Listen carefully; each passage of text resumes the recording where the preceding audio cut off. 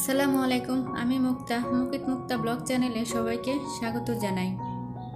কেমন আছেন সবাই? আশা করি যে যেখান থেকে আমার আজকের ভিডিওটা দেখছেন, আল্লাহর অশেষ রহমতে ভালো আছেন।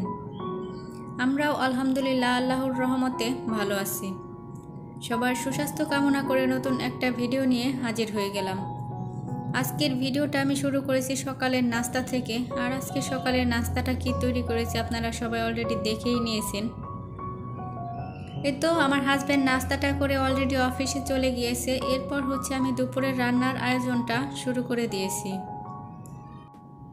আর আজকে দুপুরে রান্না করব হচ্ছে গরুর মাংসের রেজালা। আর খুবই শর্টকাটভাবে আমি রান্নাটা করে নিচ্ছি। তো পুরো ভিডিওটা দেখতে থাকুন, আশা করি সবার খুব ভালো লাগবে। এই তো মশলাটাকে কষিয়ে নিয়ে এরপর হচ্ছে মাংসগুলো অ্যাড করে দিয়েছি। কিছুটা নেড়ে চেড়ে এবার ঢাকনা দিয়ে ঢেকে কষিয়ে নেব। আর এই তো দেখতেই পাচ্ছেন মাংস থেকে প্রচুর পরিমাণ পানি উঠে এসেছে। আর এই পানিটা দিয়ে আমি কিছুটা পরিমাণ কষিয়ে নেওয়ার পর তারপরে এর মধ্যেই অ্যাড করে দেব লিকুইড মিল্ক আসলে কিছুদিন যাবৎ খুবই ব্যস্ততার মাঝে আছি। আমার বড় ছেলে ওর এক্সাম শুরু হয়ে গিয়েছে। ওর এক্সামটা শেষ হলে আবার চেষ্টা করব নিয়মিত হবার।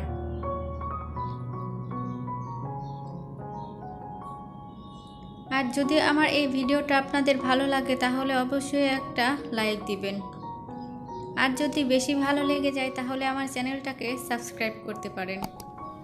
আর যারা আমার চ্যানেলটাকে সাবস্ক্রাইব করে আমার পাশে আছেন, তাদেরকে অসংখ্য ধন্যবাদ। এই তো কিছুটা পরিমাণ নেড়ে চেড়ে এবার হচ্ছে কাজু, কাঠবাদাম আর হচ্ছে টক দই একসাথে মিশিয়ে দিয়ে পাশের চুলাতে বসিয়ে দিয়েছি। আর এই চুলাতে হচ্ছে আমি পিঠাগুলো তৈরি করে নিচ্ছি। মাশাল্লাহ চিতই পিঠাগুলোও খুবই সুন্দর আর ফুলকো ফুলকো হয়েছিল।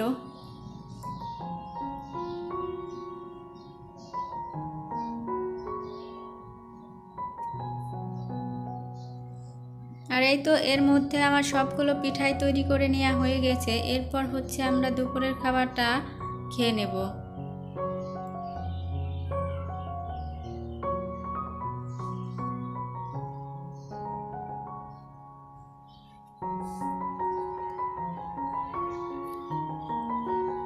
আর এই তো রেজালাটা বেড়ে নিচ্ছি। আর খুবই সুস্বাদু আর লোভনীয় হয়েছিল খেতে।